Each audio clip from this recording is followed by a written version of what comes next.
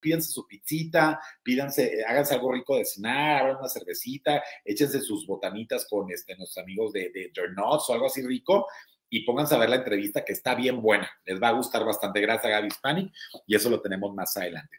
Oiga, pues, ¿qué creen? Ya lo arrestaron. Arrestan a Pablo Montero y circula una fotografía en donde sale el guapo Pablo Montero de una manera muy desaliñada en la, eh, pues, con las autoridades. Ahí lo vemos a Pablo Montero capturado, capturado y todos dijimos, bueno, ¿qué onda? Sí fue verdad lo de las denuncias a estas niñas, pues no que había pagado para arreglar el problema, pero entonces sí se siguió de oficio ¿Cuál es el problema? No, chicos, es un caso totalmente diferente a lo que, está, a lo que pasó en Tapachula, a lo que pasó allá en Chiapas este, con, con esta eh, niña que se llama Jimena N, que no sé si es una niña, pero con esta mujer Jimena N que dice que pues Pablo Montero le hizo cosas indebidas.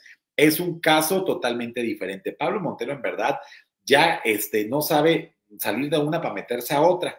Pues esta foto fue tomada también ahorita en enero. Haz de cuenta que lo de Tapachula fue el 7 de enero, días después, como el 12, Pablo Montero ya ven que está viviendo allá en, en este, Playa Ventura allá en Quintana Roo.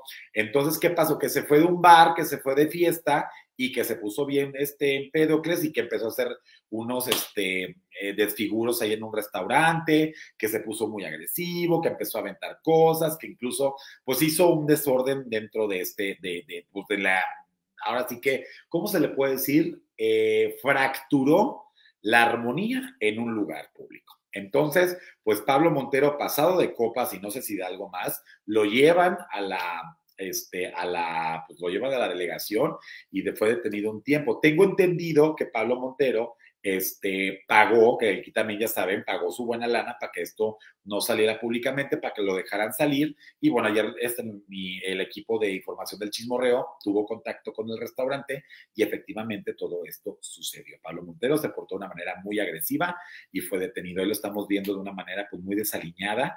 Este, no, repito, ah, no es, fue por lo del caso de Tapachula, esto fue por otra cosa que hizo en Playa Aventura en Quintana Roo, donde tuvo este, eh, donde tuvo esta situación. Entonces, sí está muy, este, está muy cañón. Pablo Montero en verdad, en verdad, en verdad sigue sin aceptar que tiene un problema con el alcohol. Ya lo tengo que decir así. Antes no me gustaba decirlo con todas sus letras, porque pues dije, bueno, a lo mejor efectivamente, Pablo Montero tiene un problema con el alcohol, chicos, y no lo quiere reconocer. Y cada cosa que pasa este, es peor. Ya se, este, pues, evidentemente se aprovecha de chavitas, hace desfiguros en los restaurantes. Pues no se acuerdan hace poco que no le quería pagar a los mariachis. Ay, no, Pablito, en verdad ya eres moroso aparte. Pero es que Pablo, sobrio, no te ha puesto que no. O sea, no, no es este monstruo que, que, se muestra ya tomado. Cuando está bajo los influjos del alcohol es cuando empieza a hacer todos esos desmanes y obviamente no es el Pablo que queremos ver.